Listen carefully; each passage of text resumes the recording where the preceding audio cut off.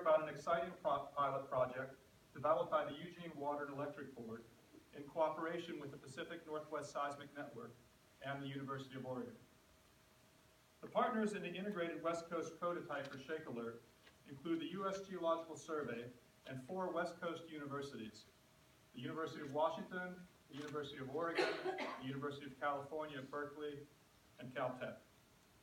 Our RUO staff, as well as those of all four universities and the USGS, have worked long hours and hard to achieve today's milestones. Our progress would not be possible without strong support of Governor Kate Brown, Congressman Peter DeFazio, the rest of the Oregon delegation, including Senators Wyden and Merkley, and State Representative Nancy Nathanson. Their steadfast support and advocacy for ShakeAlert and the University of Oregon has greatly accelerated the expansion of the Pacific Northwest Seismic Network in Oregon. For example, it was just two years ago that Governor Brown approved the appropriation of $670,000 to purchase National Science Foundation-owned seismometers that were slated to move to the state of Alaska. Since that time, our PNSN staff at the University of Oregon have leveraged that initial state investment to secure other federal and state funds that are further expanding the seismic network in Oregon so that we can contribute to the safety of all Oregonians. The backbone of the ShakeAlert system is a network of seismic sensors that detect dangerous earthquakes as they begin. Every earthquake sends out two general sets of waves.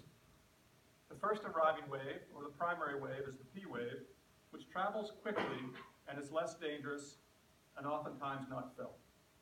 The second set of waves are the S waves, which travel more slowly but do generate strong shaking and damage. The principle of the ShakeAlert system is simple.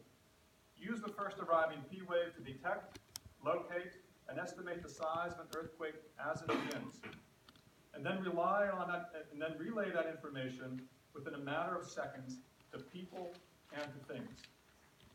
Importantly, the ShakeAlert system not only provides a warning that an earthquake has occurred, but it also informs the user of the expected intensity of the shaking and the time it is meant to arrive at a particular site. By knowing both the intensity of shaking and the time of shaking, actionable responses are possible by people and also by automated activities. The ShakeAlert system is well suited for the impending magnitude 9 earthquake on the Pacific Northwest coast. This is because the most powerful earthquakes